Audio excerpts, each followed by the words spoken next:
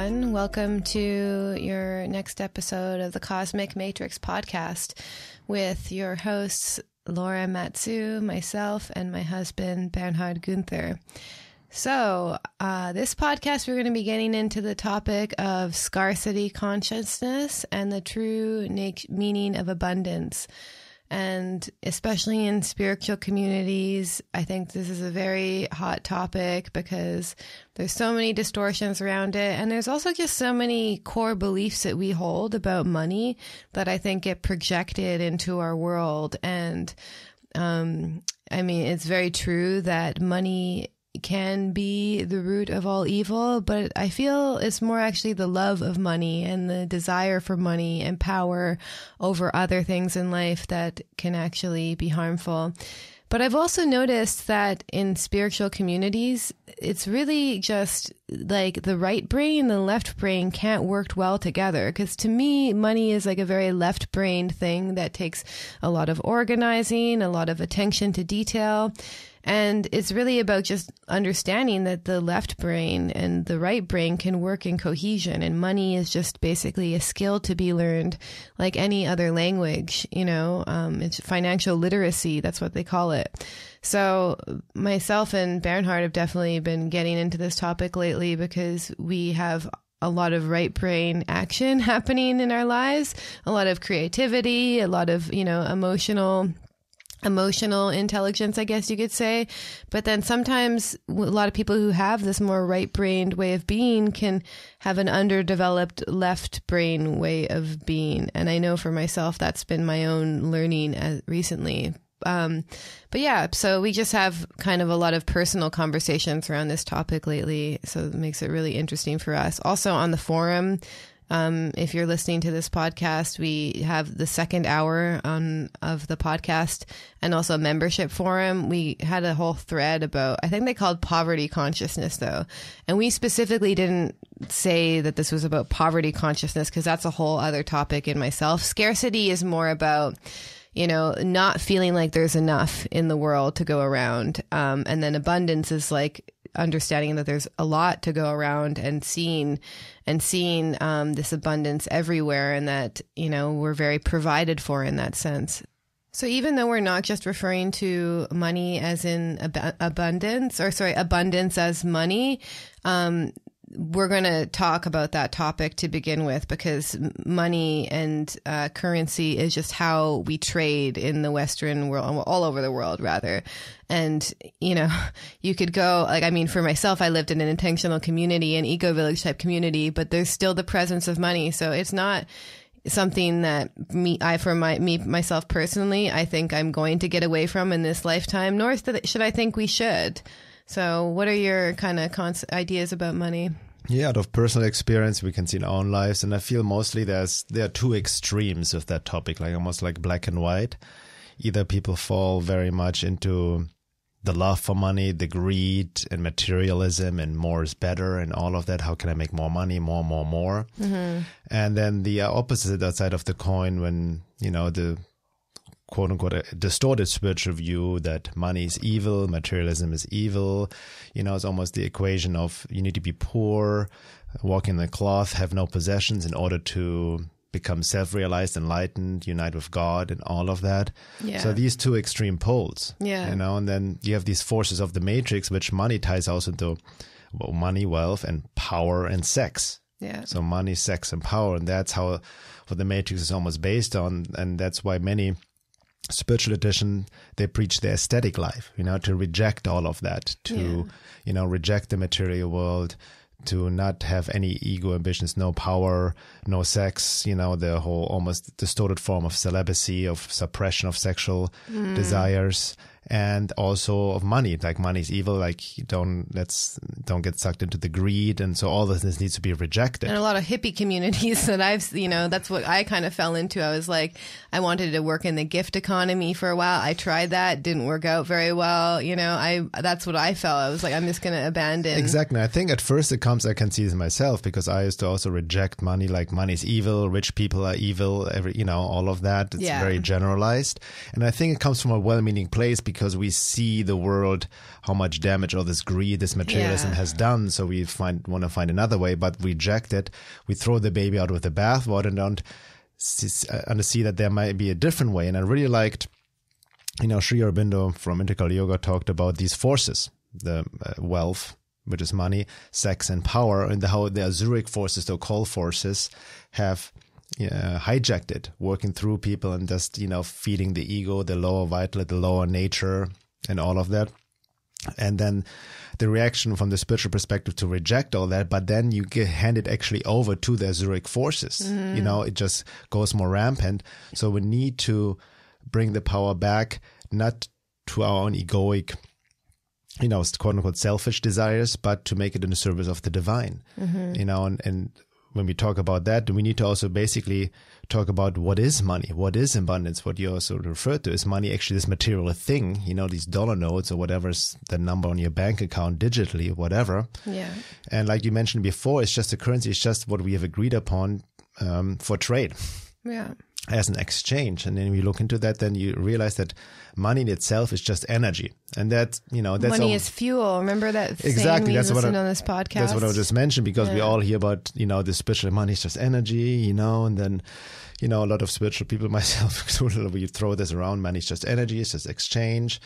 Um, but you can go even deeper that uh, we listened to this very interesting podcast, um, with this man, The Art of Money. The Art of Money, uh, which is really good, by the way, uh, Lauren. I've been reading that book. Yeah, Um, because she's a somatic psychologist, but then now she calls herself a financial therapist. So she really takes in this more both spiritual and body based approach. So that was, I really appreciated that. Yeah, her name is Bari Tessler. The book is The Art of Money because most of you think of money like all, you know, the self help that's out there is how to make more money, think rich, grow rich, you know, the distortion of the secret, just think positive thought, imagine mm-hmm. the ch- checks coming in your bank account. Mm-hmm. But, you know, that's, it's not a, too much about how to get more money. It's just like, what is our relationship to money? What is the role? How has the matrix distorted it? Our own belief systems, our shame around it, our upbringing, our karma, all of that, you know, the more embodied approach. Yeah, and also not even just seeing abundance in the form of money, although that's important, but also, you know, just seeing abundance in every aspect of your life. Like I remember um, when I was working on a permaculture farm and we would harvest all the vegetables for that season, I would look at it and I'd be like, wow, like the, I would just think in my mind, like you can't buy vegetables like this in the grocery store, you know? To me, that was like a, a truly abundant moment. And also this abundance can show up in all aspects in our lives. And I know of people who have a lot of like financial quote unquote like wealth or resources, but they live in a state of scarcity consciousness. So I really also want to make this distinction that it's actually not so much about how much money you have, but how abundant your life is in general. Exactly. And abundance truly means, like you made a good example working, you know, nature is abundant. Yeah. It provides. And abundance, many m- people mistake just money for abundance mm-hmm. alone. That's not abundance. Abundance means also relates to, you know, being, being spiritual. The word spiritus means actually energetic, alive, feeling passion for life, being fully tuned in. And that's what you see in, in nature as well. It's alive. It's, it's creating, right? And so abundance is just also being, it goes way beyond the material collection of dollar notes or this hoarding because that's what it has turned into hoarding of money and that's how the matrix works um, especially the you know you look into the matrix control system the bank and families the Rothschilds there's definitely this hoarding of power and money Yeah. you know and and keeping people in poverty on, on, on purpose and all of that but it's easy to fall, you know, of course we can blame the matrix, the government, the, the banking institutions, you know, the debt system and all of that, tax, taxation, you know, for um, the poverty in the world. And, but what they really do, they use our own program. They have programmed us, our unconscious guilt and shame around money, these beliefs against us. So, you know what I mean? So we almost recreate that. Well, this is also something I learned recently from a totally different person from from a trauma therapist about, you know, he talks about basically multiple people in the somatic community talks about how basically like the birth of agriculture really destroyed us as a social structure because once it became about how many resources that we could obtain, we became in competition with the people around us rather than gathering together in a tribal element. You know, we would we would basically go away to hunt and then we would come back to the tribe. But now it's like every man for himself, whoever can connect, literally whoever can collect more resources, and that's what we see as his money becomes more powerful. And this has basically put us in competition against each other. It's put us to fear the other person because it's literally been by like our our wiring has been, been our DNA. I mean, we can even go further back. This probably happened even before this, but has been wired in the way that's opposite for us to you know evolve because we cannot you know we evolve better if we do it collectively rather than individualistically. And so that's kind of this wiring that we've gotten into this capitalistic greed. I'm competing against you. If there's if I have more, you have less. That's an actual reality that's been integrated in, into the world. But the fact is that I feel on a basic biological level, we're actually meant to join with each other and to not compete, to see what the other person can contribute to us, you know, and to build these kind of communities. I think this is going to be maybe something more that happens in this Pluto and Aquarius kind of kind of time. Um, Pluto being this area of transformation and Aquarius being about the collective and the community. I don't think we're there yet. I think we're still, you know, competing against each other and seeing other people, even in our neighborhood, as our enemy. Like, and I even remember just a shift happening within my lifetime. Like, I'm in my 30s now. And when I grew up, it was a smaller like town. I could knock on any of my neighbor's house in my on my block and even the two blocks around me and ask them for something, you know, just to borrow or whatever, or just to visit them. And now I see this is not the reality anymore. I don't know what it's like in the small town that I grew up in, but you know, you're like, I've literally had neighbors who were my enemy, you know, and that's like, and to me, this is also kind of the, this dissolving of, um, like the more that we're competing against each other, the more we're going to be in scarcity consciousness as well. And that's how the Asuric forces work, who have hijacked power, wealth, and money. Mm-hmm uh, power, wealth, and sex as well. It's this ego consciousness. And what you mentioned, the trap of competition. And you might say that competition serves its purpose. So better products, better services, like healthy competition, quote unquote. Yeah, yeah. But it gets very distorted if, if you, um, really, you know, there's, there's a lot of corruption because of that. Then in the end of the day, more for me, less for others.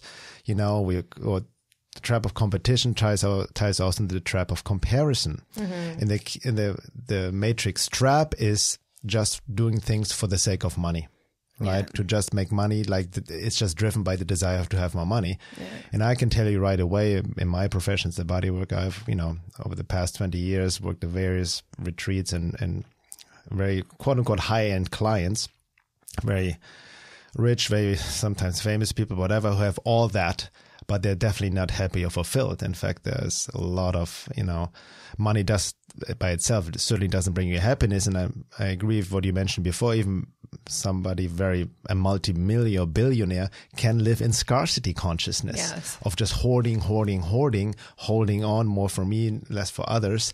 And that's also the matrix trap because money in itself, it's like it's this energy. It needs to circulate like a life force, mm-hmm. right? And that's the irony. The more you actually also truly invest or spend. Invest i don't mean in like stocks or what but invest in life into yourself.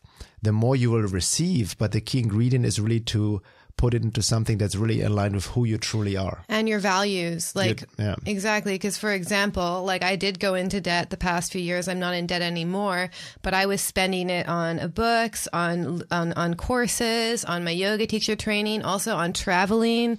You know all of these things were were and not just traveling just for fun to go to the bahamas and have a vacation like traveling to expand my awareness of the world. And then ultimately this is like the way that i kind of justified it was like okay I'm investing, you know, people spend 80,000 to $100,000 or whatever. I don't know how much student loans are because I don't have one, but they spend that much on their student loans. I'm going to be a sc- student of life and this is what I'm going to spend ma- it on. That's a matrix trap in itself, it, the student loan. Yeah, thing, exactly. And, and then keep people and, in debt. And not only that, but then you have this like master's degree in this very specific thing and you have to go in this very specific career. There isn't enough jobs or whatever. So I was just basically like, okay, I'm going to consciously go in debt to serve my own education education because I could tell that like, you know, the level of skills that I had and based on what I wanted to do, there was a discrepancy. But um but yeah, so like it's also not but it's but but I could also tell like at the same time that, you know, once you go into debt, it does affect your consciousness. Maybe that's just me, but it did affect my because I was always paying it off, you know, I could never get ahead. I you're always, you know, what they a lot of financial you know, basic financial advice is that you would always should always have like at least three to six months or more of money in case something happens to you. As long as you're in debt, that's actually not happening. So you are living from paycheck to paycheck, I mean, even worse. You know, yeah, that's that's a sketchy thing with debt because that's how the matrix works as well. The debt that you know the debt consciousness to put us into, into debt on purpose, mm-hmm. and there are metaphysical repercussions too because if you use credit debt and all get yourself in debt you're paying with something you haven't earned right? And that's how they trap you even metaphysically karmically right? Yeah. because not through your own efforts. You know ideally you don't want to spend money you don't have. Having said that like you mentioned you can use the matrix with the debt set up with a you know credit yeah. set up to your own purpose. Like that's what i mean. You use the matrix rules to your own advantage without getting trapped in it swallowed up in it you yeah. know? For example um, you know, when I was in my 20s uh, as a musician, I used building credit slowly. I, I got into debt to have a, a, music studio, right? Just to pay for equipment and all of that, yeah. to invest into that, but also be clear that I'm able to pay it off, not to like go overboard with that. Yeah. And similar to you, I've also, when I started out, you know, you know, in my life, everybody's different, but I know I could never relate, even when I straight out of high school. I remember my uh, going back to college days. You know, I've mentioned that maybe before in the podcast, but I went to business school. You know, studying economics and business. The reason, only reason I went to is because everybody else was doing this. Pressure from my parents and this idea. Oh, you know, life is about making money, career. So I need to learn business and economics. I was lost. I had no but passion. interestingly, I think that learning business could be an important. Exactly, but let me just, yeah, you know, yeah. but the, my point is like we're not you get out of school, you don't even know yourself, you know, as a yeah, young kid. Exactly. So I do like find, you know, it's about finding your calling in life first, right? Follow your bliss, your passion, your deeper, you know, quote unquote soul purpose or something that really excites you.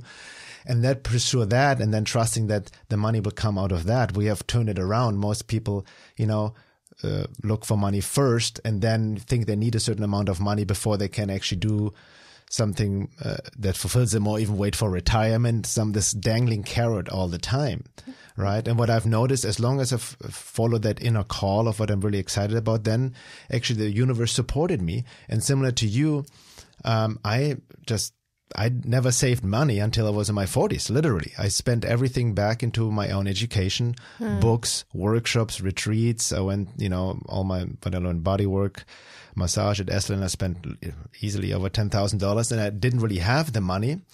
Uh, it was just, it was mostly, you know, living month to month. But I noticed the more I invest into myself, the more I would come back. Yeah. Around like opportunities, or you know um, but make the distinction that investing in yourself is not just investing in like nice clothes or whatever. No, no, you're investing into your soul purpose. Soul purpose more in experiences not stuff. Yeah. you know just you know my own taking education into my own hand. Exactly. And i realized i need to like also pay for that pay with yourself or like to have the means to do that and not expect anything to be handed for me over for free yeah, exactly. Um, and I think that's kind of the era that we're heading into because I feel that we've you know, seen at least many people listening to this podcast have seen that the education educational system has base is basically a failure at this point, and they're struggling to keep up.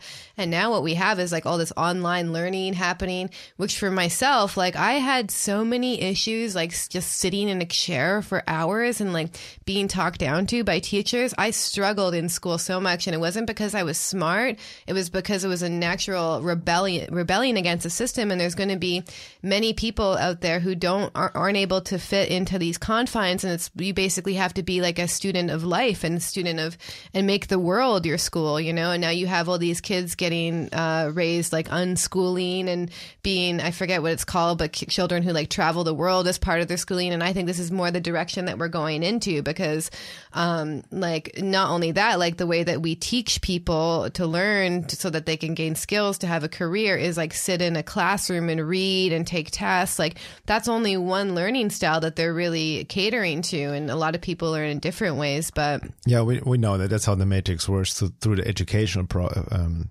program it's literally yeah. a program to tell people how to think. It's very generalized. It's not individualized. It's not helping to explore the individual. What is this person good as an individual and bring that out? Yeah. Right. It's just and that's forming what, people into the, trying to fit them into the system. Yeah. And that's what people are struggling against when they're like, oh, I can't because, you know, I need to keep this job before I do this and that. And uh, not saying that, you know, there's in a certain level of security that you might need, but a lot of that is also I've noticed just programming and lies that they're telling themselves. And, you know, I, I know that I'm comfortable taking risks. So I did take a huge risk when I did what I did. But I also knew just from life experience that when I was following something I was truly passionate about, that's what, when it, that's when it was going to work exactly. out. Because that's... I tried the other avenues. Like I did go to, I did go to college and I learned community welfare. I tried to go to, it's interesting, even though I was already, like as a teenager, I was already writing as a journalist journalist. I then tried to take classes in journalism. I was like, no, like I just got to trust the fact that if I want to do something, I can do it and figure it out. And now more than ever, we actually live in a world where you can do that you know? Like even i remember when i when i wanted to go to school i was like oh maybe i should get like a master's in psychology or something. But no actually b- b- working as a holistic life coach gives me way more freedom than if i went down that path because now i can be like i can literally learn a modality in like you know a month and then i can start applying it. If i was operating under these matrix program programs with these like certificates and whatnot i actually wouldn't have that freedom i do think there's another side of the coin though we have a lot of people who are like now posing as like professionals who actually don't know what they're doing, but that's a whole other topic. But what I'm trying to say is like, you know, this abundance. What when when we when we go after um, anything that creates more life force in us, and we're able to distinguish like what makes me feel more alive, that's when we're generating exactly the energy to generate abundance, because that's actually what creates abundance in the world, and that's what creates abundance within our own lives. Exactly. Maybe let's talk about some from a practical perspective, what is in the way of the flow and, and in a way of creating abundance. And many, many different factors come in on a multidimensional level. There's even karmic uh, considerations and all of that, the law of cause and effect. Mm-hmm. But on the very basic level, we don't question our core beliefs. Many beliefs we not be, uh, be aware of, but they're unconscious matrix programming. You know, one we mentioned before, we feel money is evil, money is dirty, uh, rich people are evil. So hence, you know, if I get money, I become evil as well. Mm-hmm. You know, and mm-hmm. that's not to say that a lot of rich people are, you know, they're psychopaths there. They're very entitled. They're very selfish. But I know, having worked with many uh, individuals, um, very, very well off, uh, it actually helped me to pierce through the program program that all rich people are evil. Some of them are very conscious, aware they are where they're at. They have their own emotional struggles, issues. You know, money alone doesn't resolve it, and um, so we need to watch out not to generalize it because that's how the matrix actually that's the irony how the matrix works they want us actually to think you know the 2% is in our control money is evil the evil rich and all of that and then gets us in the trap of the revolutionary mind well disempowerment and is really, exactly yeah. ultimately disempowering our own inherent creative potential because we project outwardly. We blame the world, we blame the elite, the Rothschilds, and all of that. Yeah, and then we're like, oh, I'm not going to use PayPal because I don't want to pay any fees and yeah, whatnot, and all these things. Very, like, I'm sorry, yeah, that's may trigger, but this unnecessary self-defeating quote unquote activism. Yeah, yeah, right? we're ma- you're making actually, and this kind of leads into it. You're making life harder for yourself. You know, like as much as like I'm not a big fan of Elon Musk at all, but it doesn't mean that I'm not going to use PayPal because that allows people to pay me really really quickly. And I know, like, I like you know, so some points I just may, need to make a choice. Is this gonna is this gonna help people? Is this gonna help me help people, or is it not gonna help people? That's a very important point because ultimately, if you're more spiritual way, how can I have the biggest impact to help others to spread awareness? And Tom Montalk he wrote an excellent article on his website, uh, ties into that, uh, increasing your potential to help others. And he addressed the topic of like, you know, you, somebody asked him a, a question that, you know, you know, I don't want to do any damage to the world and the world is corrupt and evil. I just want to live off the grid, mm-hmm. you know, be away from everyone, you know, but to do that, you have to like become very self-involved. Yeah. It's just about yourself and keeping that lifestyle up. It's in in in, in insane almost. Well, you know? and not only that, like I've I, this is like the common millennial fantasy now. It's like, oh, I'm gonna move, just grow my own food. and when I break it down to people, I'd be like, do you realize how good of a farmer and how much land you have to have to grow your own food, where you're just eating your own food? Because it's not like it's like people think that they can just like, oh, I'm just going to plant some seeds and then I'm just going to water them and then every day I'm going to have vegetables. But no, in order to actually grow enough food for just yourself, you know, first off, one one man, I don't or one woman doesn't have the the time of day to do it on your own but it's just not only that do you want to be a farmer for the rest of your life too? Like because that's going to be your life. And if you want to if you want to dedicate yourself to that. So it's also you know like getting because i actually i know this because i actually had that visualization and i was like okay i'm going to move to a permaculture farm and learn how to grow my own food. And i did have fun in the garden at first but then eventually i was like this is not where my talents lie. That that you make a great point because many people are actually actually very talented drawn to tourist type people, maybe, you mm-hmm. know, living in nature, growing food and have that life. But yeah. we need to acknowledge that we have all different qualities. I know for myself, I don't really have, for example, what you call a green thumb. Yeah. right. But I'm good many other ways I can help others. So you need to know yourself, honor where you are. And also a true STO society service to others is everybody's doing what they're supposed to do. Yeah. And if you're truly aligned with your inherent God given talents, you, everybody can do something somebody else can is not able to do. Exactly. So it's your unique expression that cancels out any form of competition. Yeah, exactly. Competition comes up when you're actually insecure, not aligned with who you are, and try to, you know, um, you know, it comes from scarcity. It comes from scarcity, and actually, you know what? That ties also into a big unconscious program, which many of us have, myself included, especially in the past, which is in the way of creating abundance on our level. Is meaning I'm not good enough mm-hmm. because I don't deserve it. Yeah. You know, because what what does it relate to? Some any possible childhood trauma, you know, what have been told through society or upbringing and whatnot, the I'm not good enough program. So yeah. if you're not good enough, you don't deserve. Mm-hmm. Right. So that expresses yourself in your ability to create abundance, to quote unquote attract money and all of that because of these inherent beliefs. And it's not that, you know, we don't, it's, you have these superficial ways of attracted what the people call the law of attraction, like the secret of just like thinking positive thoughts, visualizing that and this. But especially the film The Secret is very materialistic based on stuff. Again, we, you know, so you can easily get into the greed. Mm-hmm. So, you know, going back to money is energy, money is fuel.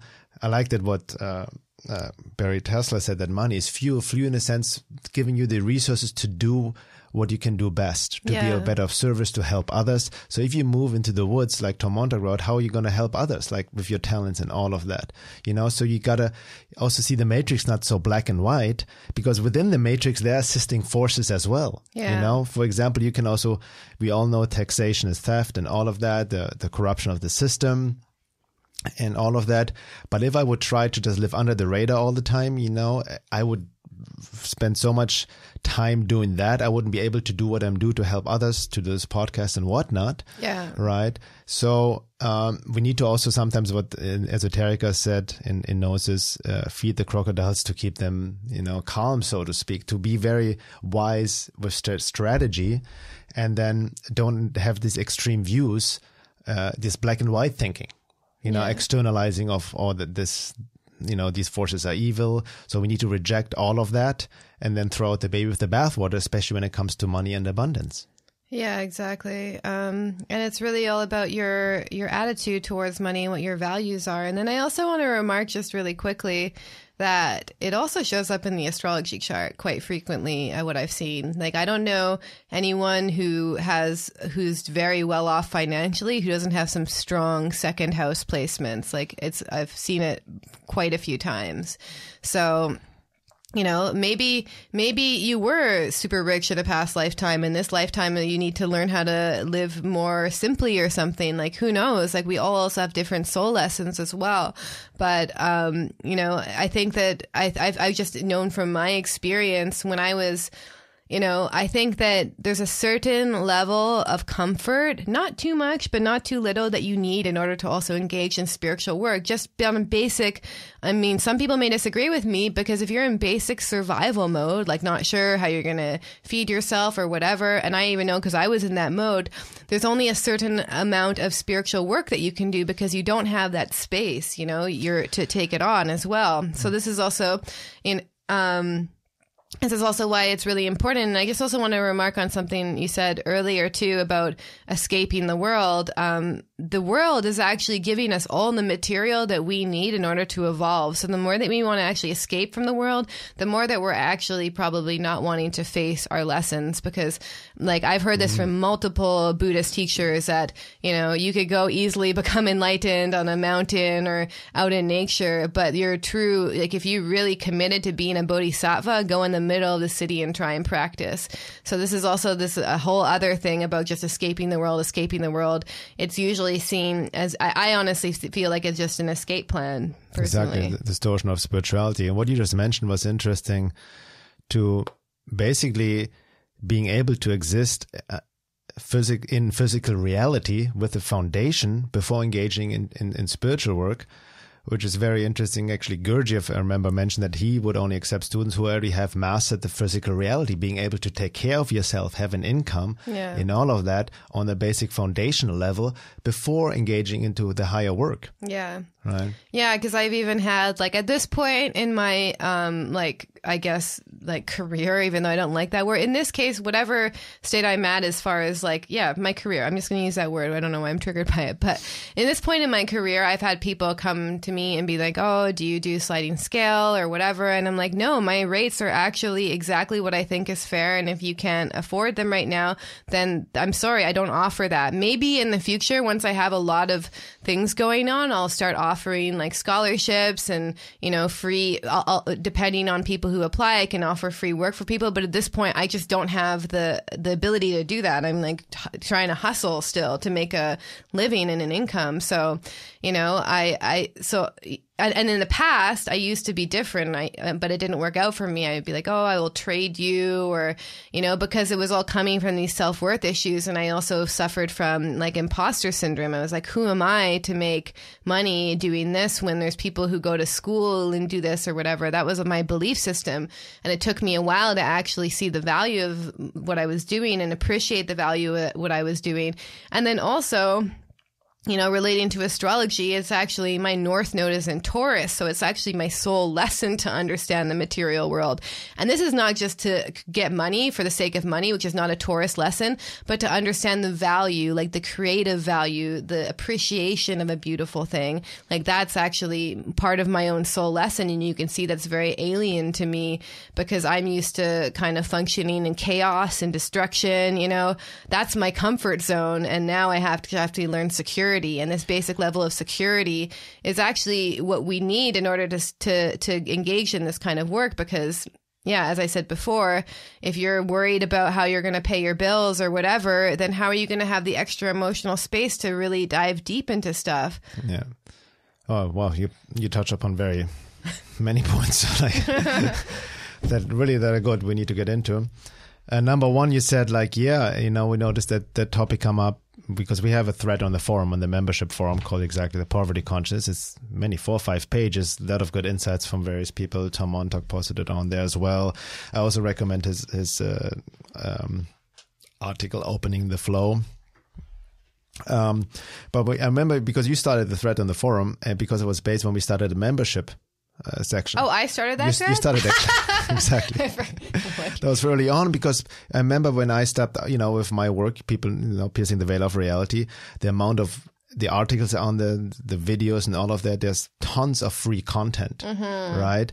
And then also through my own work, similar to I hear the calling, so offering sessions, you know, certain material. I put a lot of my webinars, put a lot of um, time and energy and research into it, all of that, and ask for an exchange, you know? Yeah. But then, especially I noticed in the so-called truth movement, you know, people got on my case, on our case, like, you know, attacking me for charging, you know, a couple hundred bucks for an eight hour webinar, right? Like that uh, there's this entitlement almost that these things should be for free or that I'm greedy or I'm that's in it for the money. You know, all these projections, yeah, which also tag into my own wounds, you know? But so I want to, let, yeah, me, let me just okay. finish and I'm then like wanting to defend you. yes, exactly. No, exactly. And then I remember even when we started the membership, people were complaining of eleven dollars a month, and I'm like, if you don't have, cannot contribute eleven dollars a month Hmm. for the con, you know, for people don't even know how much work it t- Yeah. takes for the podcast to the, the the website keeping up with the forum and all of that the time Yeah. you put into and just contribute in that sense if you don't have that then it's time to reflect if you have spent time to spend you know only one hour on facebook a month Yeah. you know but cannot spend 11 dollars then you may get off facebook and find ways with your creativity you have a more income Yeah, and people don't realize that's the thing is they're giving Facebook their money through giving Facebook their time. So your time is actually your money that's as the well. that's the who mark henson wrote about that's the new currency attention yes. the attention currency to vector away your attention. So where's your attention every day? What do you do with your time? Mm-hmm. You know, and there's a saying time is money, which is also somewhat a matrix program, but it's also like, you know, we become more consumers, you know, mm-hmm. consuming content all the time. Which is fine, but then I've noticed in this younger generation, especially with this information overload on on the internet, and you can Google anything, and there's a lot of quote unquote free content, and that's great, that's awesome. But there's with along with it comes this entitlement that everything should be free. But there isn't a lot of free quality content. That's the That's true. distinction, you know? Like you could be like, "Oh, I'm not going to buy this book because I can Google and find it on YouTube." Yeah, maybe you could uh, after hours of research, but why not get a book that has all of the things that you want for, you know, an extra 25 bucks or whatever. So that's the thing is like and not only that is this idea of free, you know, when you're this idea of free for starters is not even true because, you know, what Gurdjieff says is like you don't get anything for free. You have to pay with yourself in some way. So you have to give up, especially in spiritual work. I think Tom Montalk mentioned this on the forum, is you're going to have to give up some part of yourself in order to engage with the work to begin with. And that's what are you gonna re- are you gonna read that post? Exactly. Um, because regarding what we talked about, um, you know, so here I'm quoting Tom from from the forum on the poverty conscious uh, post. Because exactly what we talked about people not wanting to pay for Mm-hmm. knowledge for services that might help them you know which i see like i mentioned before i see they fall into the trap. They feel that if they pay something it's not gonna it's just they're only giving nothing's coming back and they don't understand the universal law that by spending it by investing it will actually come back around and and you will benefit in multiple different ways I think there's mul- just before you read that quote though, I think there's multiple things happening there. Number one, what we talked about earlier is I know because I know people in my family who have money but don't want to, you know, pay for things on themselves, don't want to treat themselves to massages and whatnot, is because they don't feel that they're worth it, you know. Yeah, and but then so there's a, one, there's one aspect of it, and then also, you know, I think that people who also, what my view is, if somebody contacts me and they're like, oh, I want to book a session or whatever, and they don't actually do it, it's like you must not want it that bad. Like, Yeah, exactly.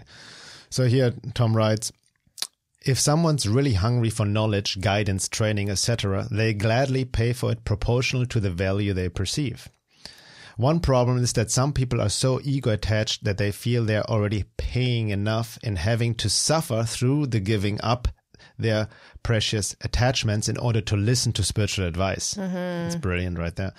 Subconsciously, they're thinking, so not only do you want me to give up my ego comforts and be all quote spiritual and uh, quote awake, which I don't really feel like doing, and not only do you want me to give up my personal views and convert to your point of view, which makes me feel like I'm rolling over you, over for you, but now you want money from me too? yeah, And he continues, if anything, they subconsciously feel entitled to free spiritual information as some kind of reward for stepping outside their comfort zone and giving you their time attention. Yeah. It's really interesting. That's, that's very predominant unconscious program, so people are not aware of it. Mm-hmm. The other side of the equation is a poison understanding of money, the idea that's finite, scarce, and hard to come by, that money is the root of all evil. That it's fundamentally materialistic and corrupting. That time is money, therefore you only make money in proportion to the time, energy, sacrifice you put into it. These beliefs not all these be, these believe not all how the financial elites of the world perceive it, but which the psychopaths among them have seeded into the culture of the non-elites to serve as a carrot on a stick. Like I mentioned, these are beliefs we have taken on that actually, you know, even what we project against the psychopaths, they have inserted into us to fall into the disempower ourselves and fall into victim blame, right? Yeah. He continues, all of these must be questioned if you want to deprogram yourself. It's it's not about selling out and becoming a money grubbing shyster, but solving the paradox and gaining a higher metaphysical understanding of what's really going on here. For example, the idea that money is scarce and already taken by others, and entrepreneurs know that's false, which is why so many stupid stores and restaurants keep opening up and many succeed. But regardless of that, if you take into account the reality, reality creation principle, you can bend probability and synchronicity uh, can offset a potential any potential scarcity. Easier said than done, but it goes to show that the poison pills in our subconscious concerning money, money are themselves the source of poverty, scarcity, more so than the actual reality.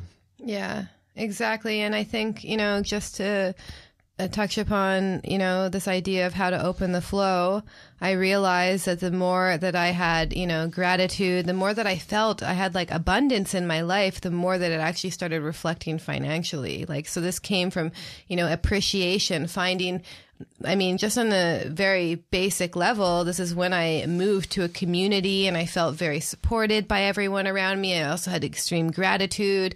I never felt, you know, I didn't feel the same level of loneliness and isolation that I felt before, although that's kind of you know it's kind of the journey of any spiritual path that you're you are in this alone in your own experience. Um, but i just saw the abundance already ex- in existence and i and it was just a rea- it was just part of my own reality and it was really honestly a state of consciousness. And even now like the more that you see that money is something that you have to suffer for and struggle for and there's not enough like they literally print it and it's just like it's an illusory the whole banking system is just like i don't even get it to begin with. Like it just seems like like the us is like billions of dollars in debt. Like i don't even get how they you know i mean obviously i don't have a lack of knowledge there but it's to me it also just seems like such a illusory system to begin with. And it's all based It on is. it's all based on our own belief systems. It's also based on our state of consciousness. And I really feel you know uh, the matrix basically took this kind of rewiring of us. We don't kind of b- bind together anymore. We compete against each other and exaggerated it to the um like to the maximum. And here's the thing how the matrix really works. It's not too much that things are being quote unquote done to us. Yes, on a maybe appearance level, but through the mind control, through the programming from other forces, the beliefs we have installed within us based on trauma, wounding, the self that, that we create that reality they want us to create. yeah in the sense, you know. So, but going to the point you made that really truly to increase increase the flow of money, which is energy versus fuel, you must exercise your ability to spend it. Like the more you spend it, the more you receive. However, that people may say like, oh my, that makes sense. I've gotten in debt. I don't want, you know, you know, it's not about quote unquote throwing money out of the window and indulging, you know, into materialism or just, you know, you need to do the self work. Like when you spend something, is it coming something from deep inside? because of wounds and trauma and you just f- trying to mask it up by looking for material fulfillment you know mm-hmm. that's why we see older guys getting into sports cars and whatnot when you know i mean mm-hmm. to each their own but this material indulgence as opposed to this is aligned with what you mentioned with your true values of something you truly want to do for yourself and helps you to help others for yourself to have a certain lifestyle that helps you to thrive more on all levels spiritually emotionally psychologically and all of that and where's the spending how do you spend it as well with what state of mind? Because i noticed as well you know like you mentioned when i was really truly passionate something in body work massage like i mentioned took many different workshops at Esalen that was not cheap and i had hardly any money. I was really scraping it. But the more i spent into that it would come back with more clients. I would see the reward mm-hmm. right it's just the mind is the trickster. Even with food, like for example, the last thing I want to save money on is what goes into my body. So I want high quality food. Especially these days. These Jesus, days, you like- know. But then people like, oh, Whole Foods is evil. Like, yeah, you can get into all of that. You know, even at the farmers market, some of the stuff, I'm, for, I'm sorry, is, is more expensive than at, at Whole Foods. Mm. You know, and I'm glad to. I'm more happy than support local farmers and all of that. But I also learned when I spend money on something I really need and want. To not spend it in the mindset of like, oh my God, can I really afford this? Uh, Shouldn't you know what I mean? To, And and but you know because that that that's not you're not spending it unconditionally you know so to speak if you spend it at the same time worrying you restrict the flow just to completely give it up and own this is what i want this is what i deserve it at this moment. Yeah. you know that's what I, it would- benefits me. That's what i learned. You the universe supports you. Recently i also with my work for example i need receive body work a few times a, a month. So i spend three four hundred dollars a month just on receiving body work Yeah. right? In my mind like can i really afford now? Like this is what i need. And when i really with this mind state of like this is what i need to do for myself so i can become a better force for the divine Exactly. right? Then the divine universe supports me and i'm actually getting the means to support that lifestyle You also, I just also want to say though that you're also at a certain point, and this is something I want to touch on too, where it's really these root chakra issues like security, grounding, working on your own stability, your family issues, your early upbringing, knowing how to meet your needs for survival. You're at the point where you can make that choice consciously. Mm. But I know for myself, like, you know, this is also directly related, and some people may argue with me, but um, you know, the more that you have this basic sense of stability and have you worked on your early family childhood issues, this is also what Bari Tessler teaches in her course. It's like work on your early upbringing, especially your core beliefs around money. Your first experience That's- around she money. doesn't get you to bookkeep or do anything until you target these main things because this is like also like pulling the root out of it. Yeah. And so you know that's kind of like now that you have a certain level of stability in that area you can make these conscious choices. But when people are in this kind of survival mode it's like just work on your root chakra work on grounding find a stable home that you feel comfortable with. the basics. All of yeah e- even all these basics. And it's not about this not being spiritual. No this is your foundation for doing work. Like if you have a comfortable home that you can feel safe in that you know that you can provide for yourself then you're going to easily be able to go into these deeper things. And there's a path towards too, because also like you know, at the beginning, I was struggling like anybody else. I had worked, you know, I started I worked in an animal hospital for eight dollars an hour cleaning shit out of the cages, you know, to support my music. But I didn't mind doing this because my music passion was the music and all of that. So as long as you have something giving, like doing something that gives you joy, passion, that some that entails also doing the inner work to align with what you truly want to do in life, mm-hmm. right? And where's the desire coming from as well? Is it this high alignment? And I'm not saying you know everybody's different, and people may get upset. Like I can't find this, I'm struggling, I have to pay for you know, you know, I have a family, I have children, but then you also need to take for say to say a responsibility because for every decision you made in your life, whatever you got yourself into, that it has consequences. Yeah. You And it is, but it is like going back to this thing about, um, you know, the, the fall of like our tribal society too, is that I see more than anything, there's a lot of pressure on mothers. It's like you just have to raise a child on your own. You don't have any aunts and Yeah. uncles, any relatives around because everyone's moved all over the place. And so, you know, in order to raise a child these days, you actually have to create your own support systems in that way and that consciously because before, like even myself growing up, I had aunts and uncles and grandparents who took care of me, you know. It was a village taking care of me basically, and not to mention all my neighbors.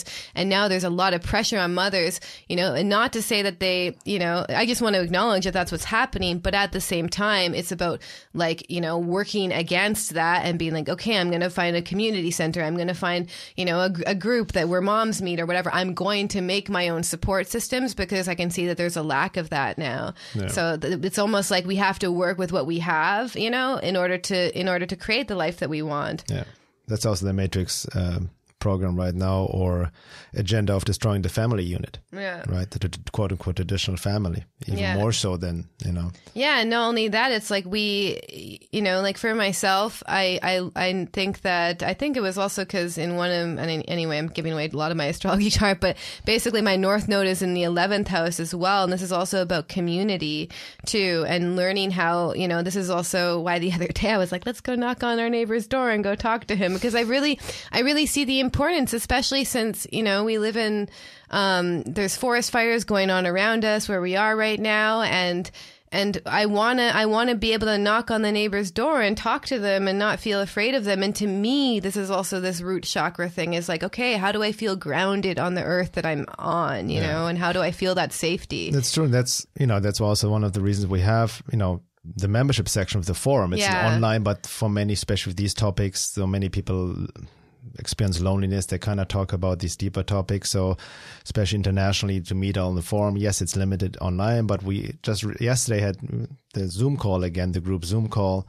And it's just great to talk to people, right? Yeah. You know, on that basic level and then create that kind of community. I'm still like, it gets sketchy. That's a whole other topic about so called conscious communities, which, you know, based on some sort of ideal, but but this is just about it, it happens on a more smaller circle on the personal level. Yeah. Right. But what I want to really get into, because you mentioned also many times astrology in your astrology chart, um, it's really important because we talked about these inherent beliefs we have need to question our subconscious, right? But then I'm sure people ask, you know, may ask the questions, yeah, well, how do you justify people living in severe poverty, having no food and shelter, third world countries? And we can see how the matrix works to keep certain um, countries in poverty on purpose. You know, yeah. if there would be equality of, you know, whatever, like people would everybody would have a conscience in the world. People in power, nobody would have to live in poverty. However, you know, that's where the mind. Because I used to think like this as well. Like you know, the matrix keeps us in you know in poverty, and all this shit is being done to us, which is true from that level. But we're multidimensional. This goes beyond the mind, and you know, what do we really know about the person's soul lesson, soul purpose, the mm-hmm. karmic lesson, which in the fringe new age whatever movement they almost dismiss that now as well yeah. so somebody needs to be blamed right but even like an astrology chart like told me i learned this a lot from you from what i've worked with astrology how every situation is so particular when it comes also to karma around abundance yeah. and money as well. Like some people. And let me Sorry, just yeah. finish that. Uh, yeah, you know, yeah, I don't want to see people starving or people homeless, but what do I really know about this person? How did the person got them got got there? You know, is it just mm-hmm. a victim of society? What are the deeper soul lessons uh, and and karmic lessons that's really going on? You know, I don't know that. I hardly still figure my own, and it's not to use this excuse new age excuse oh well, this is just your karma mm-hmm. you know that's also a distortion of it but understanding that their their their energies at work uh, that goes beyond our comprehension of our little ego mind right with mm-hmm. this analysis yeah and i also feel once again it's like this you know once we started like if you look at um like what would have happened back in hunter gatherer times when they started birthing agriculture. One person has a really great crop and the next person next to him dies. Like that was this birth of inequality. Like he started hoarding his resources and then the neighbor next to him didn't matter. So this is a whole, and I just want to remark that I feel this is a whole system that needs to be changed, not only on our basic nervous system level and the way that we relate to each other, but the like globally as well. And as we actually change our system, then the rest of it will change but who knows? Like, like as you said, you know, there's people um, who I think that every, I really believe that everything is a soul lesson when it comes down to it. And, um, you know, I also, from my own experience, I've, I've realized that some of the greatest, most traumatic experience in my life, they ended up being gifts. There's a reason why in astrology, Scorpio, the house of death and destruction and of divorce and losing everything, is opposite Taurus, which is a house of abundance and material, the material world.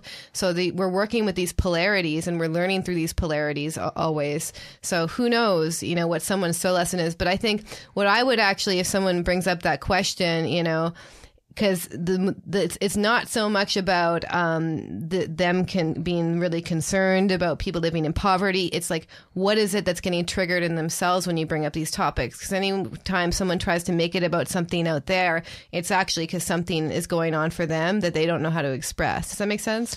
Yeah, and then also falling, you know, into the self righteous thing. You know, like you know where people use a lot of this activism or what do you call it, philanthropy Philanthropy. You know, and Sherbina was very uh, critical of that philanthropy, almost like the ego's sly maneuver, you know, to um, avoid your own process by you know making yourself feel better that you're helping others Yeah. right and it doesn't mean to be selfish in its own but understanding deeper deeper processes you know on the basic psychological unconscious level the programs have the beliefs we never question then on a somatic emotional level to a karmic level and ultimately you know on a spiritual level to bring it back to the divine. To understand like who owns money. It's not neither owned by the banks whatever and also not falling this hoarding this possession this is mine mine mine you know but uh, giving it under the uh, the to surrender to the divine right Yeah. that you're just an instrument and how you can use it in alignment with the divine your higher self you know but you never uh, you know um, claim it so to speak you know um Yeah, exactly. And it's that's the whole thing is I think you can have a healthy non-attachment to money and just see this is in the amount of fuel that I have right now that I can decide on how to you know, invest it. And when you have a lack of fuel, you have this lack of energy to do the things that you want to do. And I think this is also why I think it was Chögyam Trungpa. Yeah, this is. I'm pretty sure it's Chögyam Trungpa because Reggie Ray was telling this story um, about how he wanted to teach these advanced Tibetan Buddhist practices to Westerners, and the whole institution was like, "No, no, no, you can't do that. You know, they're not ready for it." And he was like, "No, because Westerners have this basic level of material security, they're actually really ready to do the work. Whereas in Tibet, like it's like they're struggling on a basic level, you know. So we are ready for we are ready for these things, but it's also getting ourselves out of the mindset too. Does that make sense? Like, so we are ready to take on these spiritual teachings." If we're if we're not in this scarcity consciousness you know and we're able to and really just figure out like how can i feel like a basic level of safety in a home and then that's your spiritual work you know if That's that's already spiritual work. You know, sometimes I can see myself. We try to put the cart in front of the horse or spiritual bypass and try to go to faster, higher levels when we need to just work on the foundation. And I, I mentioned that in my article, in my le- uh, recent essay, The Necessity to Surrender to the Divine and Spiritualize the Being, the fourfold approach on all levels. Right, the physical, the foundation, the emotional, the psychological, the spiritual. It also needs to work together, but we need to also you need to have that foundation, right? And essentially, you know, it goes back to what we mentioned at the beginning because it all ties into the matrix temptation of wealth, sex, and power, which are not bad in themselves. Just how you even sex itself, there's a higher creative force behind it. And power can also give you like not power over others or feeding off of fame and all of that. Where the narcissistic ego ties into that or hijacks all of that, but to use it to be a force of change for to help others in the world as well, you know. Mm. But what happens that you know from the occult perspective or the integral yoga perspective, that the human ego is highly attracted to wealth, sex, and power, and then the occult forces hijack it, you know, and then people are being actually controlled or possessed by money, sex, and power instead of uh, the controlling them without instead of them controlling it without the attachment. You know what I mean? So, in service to the divine. So the ascetic spiritual distortion or rejection of the material world then is is is the other extreme. Um, and to maybe to finish it off, the first hour uh, with this quote from Sri Aurobindo, what I just mentioned uh, about money, sex, and power, specifically money. He writes, Money is the visible sign of the universal force, and this force in its manifestation on earth works on the vital and physical planes and is indispensable to the fullness of the outer life. In its origin and its true action, it belongs to the divine, but like other powers of the divine, it is delegated here and in the ignorance of the lower nature can be usurped for, for the uses of the ego or held by asuric or call force influences and perverted to their purpose. This is indeed one of the three forces, power, wealth, sex, that have the strongest attraction to the human ego and the Asura, Asura called forces, and are most generally misheld and misused by those who retain them. The seekers or keepers of wealth are more often possessed than rather its possessors. Few escape entirely a certain distortion influence stamped on it by its long seizure and perversion by the Asura. For this reason, most spiritual disciplines insist on the complete self control, detachment, and renunciation of all bondage to wealth and all of personal egoistic desire for its possession. Some even put a ban on money and riches and proclaim poverty and bareness of life as the only spiritual condition. But this is an error. It leaves the power in the hands of the hostile forces. To reconquer it for the divine to whom it belongs and use it divinely for the divine life is the supramental way for the sadhaka. You must neither turn with an ascetic shrinking from the money power, the means it gives and the object it brings, nor cherish, nor, nor cherish a rajasic attachment for them or a spirit of enslaving self-indulgence in their gratifications. Regard wealth simply as a power to won, be won back for the Divine Mother and placed at her service. All wealth belongs to the divine, and those who hold it are trustees, not possessors. It is with them today, tomorrow it might be elsewhere. All depends on the way they discharge their trust while it is with them, in what spirit, in what consciousness, in their use of it, and to what purpose. Mm-hmm. You know, and that also ties into that what we mentioned before. We can go more into the second hour. That money is not to be hoarded; it's meant to circulate constantly. Yeah. Right. Yeah. Exactly. Yeah, so please join us for the second hour. We're getting into more topics. I definitely want to talk more about this idea of like fear, trauma, scarcity, because that's something I struggled with quite a bit, and our own personal experiences living in scarcity. Um, also, I really want to touch on this idea of like charge what you're worth, and then also we can talk about people who do charge really high rates and claim it's because of an abundance mindset. So how once again, the distortion of exactly, that. Exactly, there's, yeah. there's distortion on distortion on distortion, and also just this illusion of things costing more, therefore it must be better. I have a bunch of examples for that. So yeah, please join us in the second hour. Exactly, we want to give more practical advice and share more of our own experiences, and then yeah, if if you're not already a member, you can sign up at veilofreality.com if you like to invest. and also have access to the forum where we have, you know, uh, many discussions also about this topic in way more depth. See you guys at the second hour.